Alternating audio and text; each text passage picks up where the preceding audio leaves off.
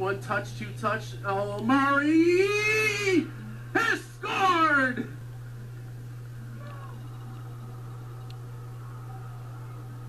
The Purple Eagles in desperate need of some offense.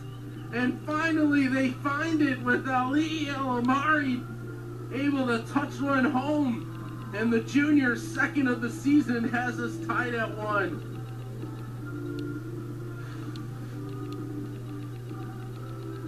It was Kujay to Barnes, Barnes with the touch, and then Alomari puts it home.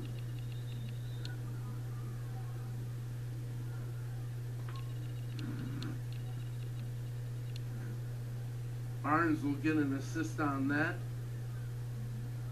And for Asher Barnes, that's his first assist of the season.